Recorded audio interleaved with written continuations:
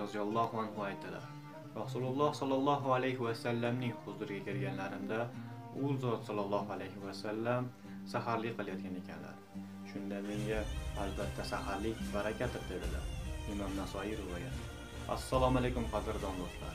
E'tiboringiz markazida zamon to'ri kanali sizlarni ko'rib turganimizdan benihoya xursandmiz.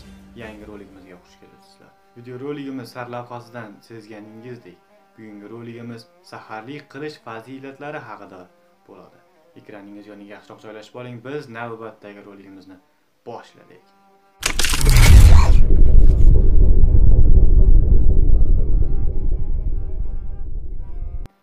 Saharlik qilish nabiy sollallohu alayhi vasallam sunnatidandir.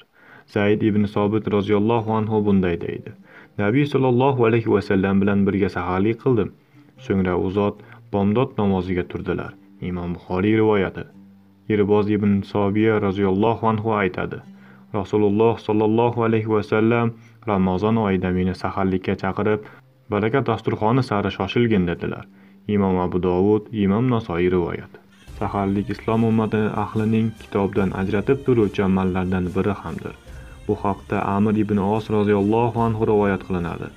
Rasululloh sollallohu alayhi vasallam bizning ro'zamiz bilan ahli kitobning ro'zasi orasidagi farq saharlik qilishdadir dedilar imom muslim rivoyati. Saharlik qilish fazilatlaridan yana biri unda duo qabul bo'luvchi vaqt bor. Abu hurayra roziyallohu anhudan rivoyat qilinadi.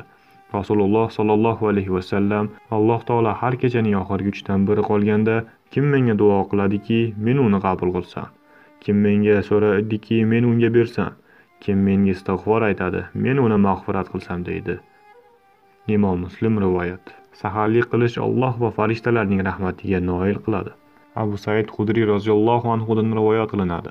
Rasululloh sollallohu alayhi vasallam saharlik qiluvchi alloh va farishtalarning rahmati bo'ladi dedilar imom ahmad rivoyat. Saharlikda xurmo iste'mol qilish rasululloh sollallohu alayhi vasallamning sunnatlaridan hisoblanadi. Payg'ambarimiz sollallohu alayhi vasallam xurmo mo'min uchun qandoq ham yaxshi saharlik deganlar. Imom abu dovud rivoyati alloh taolo barchamizga payg'ambarimiz sollallohu alayhi vasallamning sunnatlariga amal qilishni nasib etsin.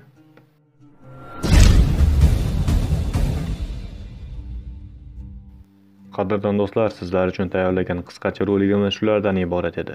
Kanalimizda yangi bo'lsangiz obuna bo'ling va roligimiz keng tarqalishi uchun layk tugmasini ham bosishni unutmang. O'z fikr va mulohazalaringizni kommentariyada qoldiring. Sizlarga xudodan omadli va barakali kun tilab somon tv kanali. Keyingi roliklarimizda uchrashguncha xayr sog' salomat bo'ling. O'zingizni asrang azizlar.